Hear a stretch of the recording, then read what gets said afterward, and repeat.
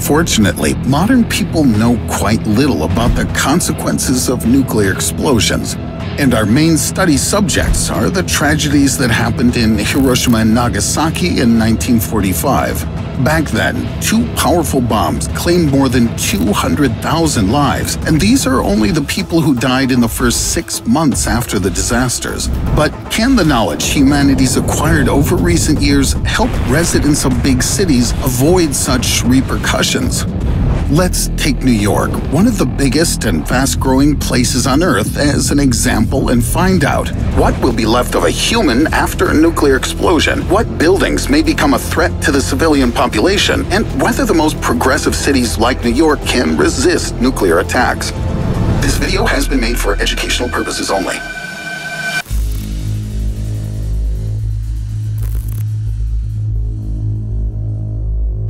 For starters, we need to figure out if a bomb blast with a force equal to 15 tons of TNT, and that's precisely how much of it was hidden in Little Boy, the nuke dropped on Hiroshima, will be just as devastating for New York.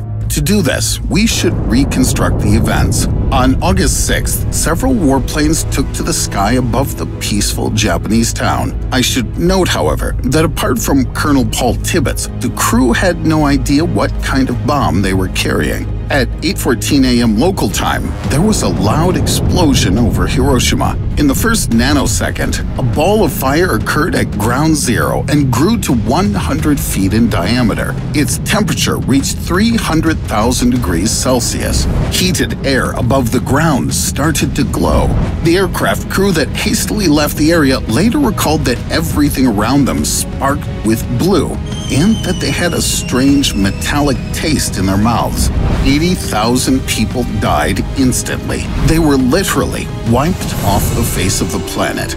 But I'll come back to that a bit later. So if a bomb of this sort strikes, for example, modern-day New York, will the repercussions be just as terrifying? Unfortunately, most likely, they'll be even worse, since Japan is an island state, which means that the blast wave couldn't spread farther across the mainland. What's more, frequent earthquakes made adjustments to Japanese lives, which actually helped them. Many buildings in Hiroshima were made of rice paper and light materials, so people were not buried alive under heavy concrete slabs. Meanwhile, the architectural wonders of New York may play a nasty trick on it.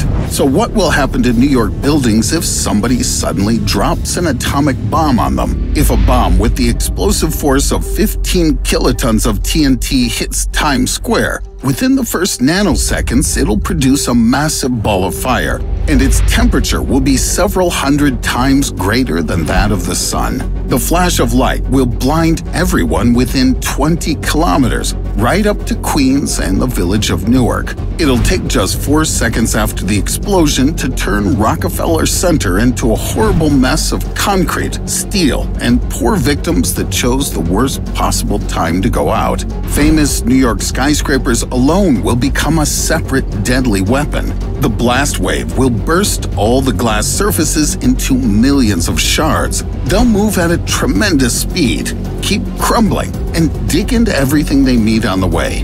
The shockwave will cover a territory of almost 70 square kilometers. It'll break windows in all buildings up to the American Museum of Natural History, and it won't avoid the Statue of Liberty in the process. The chances to survive will be substantially lower given the breakdown of mobile phones and computers. An electromagnetic pulse triggered by the nuclear explosion will simply disable all gadgets. But this damage will be the least of it. The worst impact will be caused by one thing we can't even see radiation. But how exactly is it going to affect people? The tragedy of Hiroshima has shown humankind one of the most frightful phenomena of modern times nuclear shadows. These living monuments are the only remains of the people who happen to be near the center of the blast. In the first seconds after a bomb detonates, The amount of released energy is so huge that it needs only an instant to vaporize a human body and leave no more than a residue permanently scorched into the asphalt or concrete. Silhouettes like this can still be found on the streets of Hiroshima, and even such a death isn't the most agonizing, as a person disappears faster than they can feel any pain. The scariest fate awaits those who will be from 3 to 6 kilometers away from ground zero. That's because the greatest danger of a nuclear weapon isn't devastating destruction, but radiation sickness that strikes every living creature around. Within one hour after the detonation, the radioactive plume will blanket a territory of 50 square kilometers. People will be urged to leave the area within 75 kilometers from the center of the explosion for several years. If an atomic bomb suddenly goes off above central New York, 250,000 people will die immediately.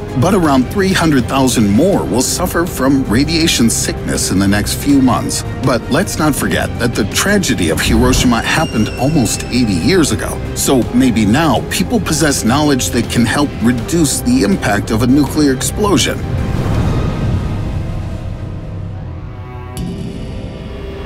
The American Interagency Modeling and Atmospheric Assessment Center develops plans of salvation for various emergencies, including a nuclear attack. If a disaster happens, the organization will promptly start tracking the radioactive plume and send all their forecasts to federal authorities. Then these data will be used to initiate the emergency evacuation. In many big cities, especially those situated in seismic zones, there are pre-designed evacuation plans and underground fallout and bomb shelters. Although out of 18,000 bunkers once built in New York, more than half of them currently function as bars and restaurants, so these places will be kind of useless.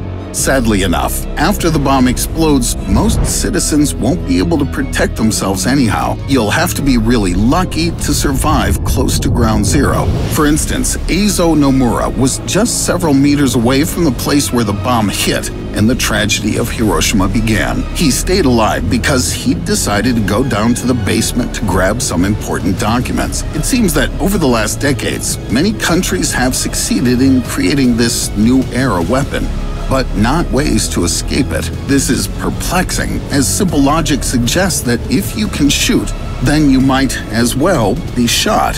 I've used New York City as an example to show you what can happen to a modern city if an atomic bomb with a force of 15 tons of TNT is deployed over it. But arsenals of some large countries include nuclear rockets whose explosive force equals 300 kilotons of TNT, and that's 20 times more powerful than Little Boy dropped on Hiroshima. I hope we never have to learn what happens after this kind of explosion.